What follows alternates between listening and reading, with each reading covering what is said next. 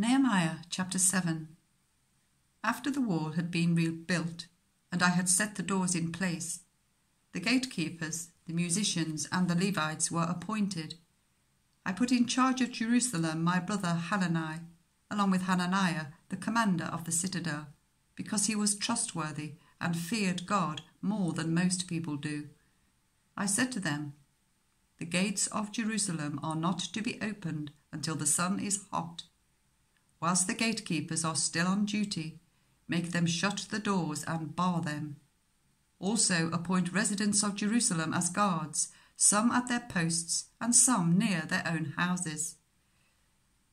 Now the city was large and spacious, but there were few people in it, and the houses had not yet been rebuilt. So my God put it into my heart to assemble the nobles, the officials, and the common people for registration by families. I found the genealogical record of those who had been the first to return. This is what I found written there.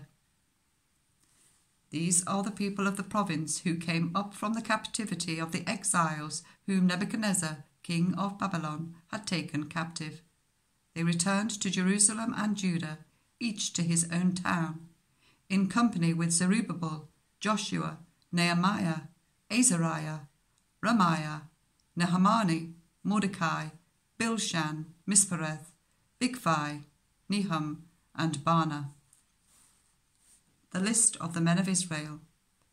The descendants of Parosh, 2,172. Of Shephatiah, 372. Of Arah, 652. Of Pahath Moab, through the line of Joshua and Joab, 2,818. Of Elam, 1,254. Of Zattu, 845. Of Zakkai, 760.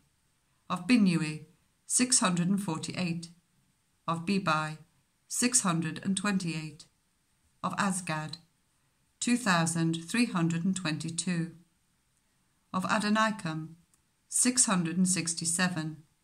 Of Bigvai, 2,067.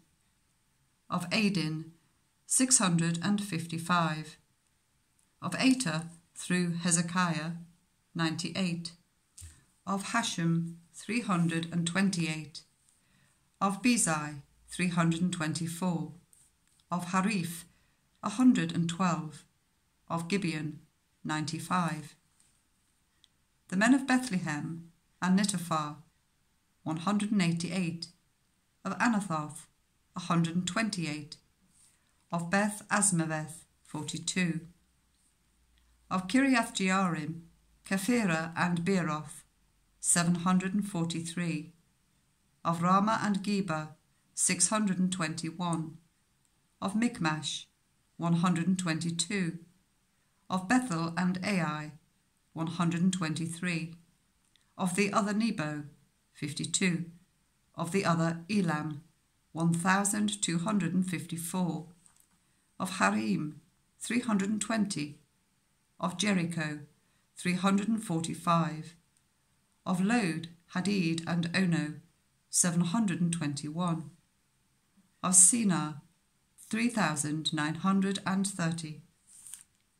The priests, the descendants of Jedaiah through the family of Jeshua, 973, of Immer, 1052, of Pashhur, 1247, of Harim 1017.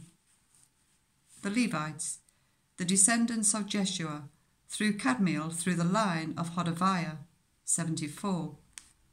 The musicians, the descendants of Asaph 148. The gatekeepers, the descendants of Shallum, Ater, Talmon, Akkub, Hatita, and Shobai 138 the temple servants, the descendants of Ziha, Hasupha, Tabbaoth, Keros, Sia, Padon, Lebana, Hagaba, Shalmai, Hanan, Giddel, Gahar, Ria, Rezin, Nekoda, Gazzam, Uzza, Paseah, Besai, Meunim, Nephussim, Bakbuk, Hakupha, Harhur, Bazluth, Mehida, Harsha, Barkos, Sisera, Temah, Neziah, and Hatipha, the descendants of the servants of Solomon, the descendants of Sotai, Sophereth, Perida, Jaala, Darkon, Giddel, Shephatiah, Hattil, Pokereth Hazzebaim, and Amon. The temple servants and the descendants of the servants of Solomon, 392. The following came up from the towns of Tel Melah, Tel Harsha, Kerub, Addon, and Immer, but they could not show that their families were descended from Israel. The descendants of Delaiah, Tobiah, and Nekoda, 642. And from among the priests, the descendants of Hobaiah, Hakkoz, and Barzillai, a man who had married a daughter of Barzillai the Gileadite and was called by that name. These searched for their family records, but they could not find them, and so were excluded from the priesthood as unclean. The governor, therefore, ordered them not to eat any of the most sacred food until there should be a priest ministering with the Urim and Thummim.